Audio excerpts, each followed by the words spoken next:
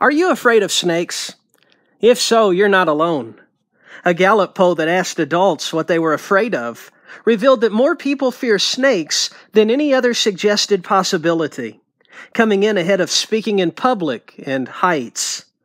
There's even a term for the excessive fear of snakes ophidiophobia. Snakes are mentioned throughout Scripture.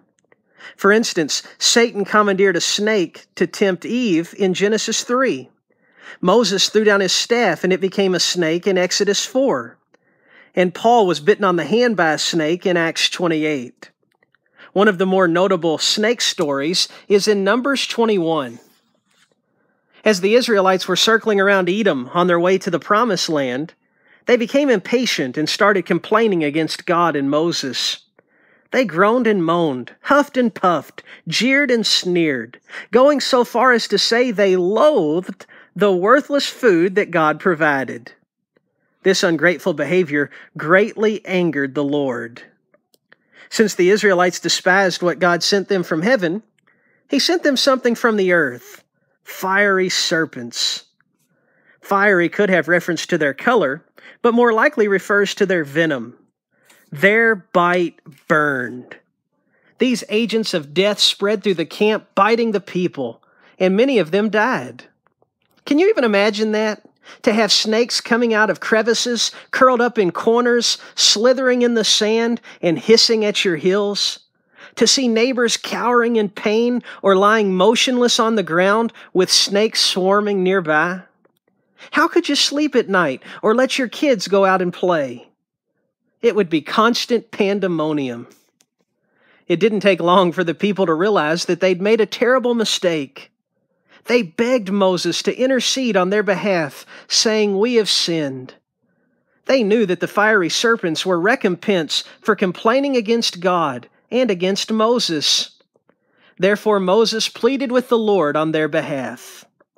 In a remarkable display of grace, God provided a means of salvation for the people. He told Moses to erect a serpent and set it on a pole so that those who'd been bitten could look on it and live. He gave them what they desired, life, rather than what they deserved, death, which is the definition of grace in a nutshell. Grace is blessings bestowed when wrath is owed. God could have just sent the snakes away. That alone would have been an incredible demonstration of grace. But he did something even better than that. He turned a symbol of death, the fiery serpent, into a symbol of life. And so it is with the cross of Christ. Jesus said in John 3, verses 14 and 15, As Moses lifted up the serpent in the wilderness, so must the Son of Man be lifted up, that whoever believes in him may have eternal life. Both the serpent and the cross were instruments of death. They were emblems of dread, despair, and demise. Yet God made them instruments of life, physically for the Israelites and spiritually for the church. Isn't that a wonderful thought? When I think about this story, I can't help but see us in it.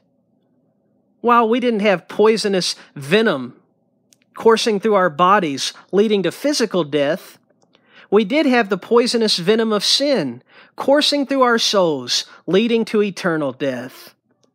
And just as they were powerless to do anything about it on their own, so are we. It took God acting freely and favorably in both cases. He did for us what we could not have done for ourselves. The Israelites experienced a horror scene that sounds like something out of Hollywood slithering slayers lurking in the shadows, hiding behind rocks, climbing on the pottery, and clinging to the walls, just waiting to attack their next victim. Then grace entered the picture. God intervened. Healing happened. The symbol of death became a symbol of life. All they had to do was look to the right thing in obedient faith. Have you done that?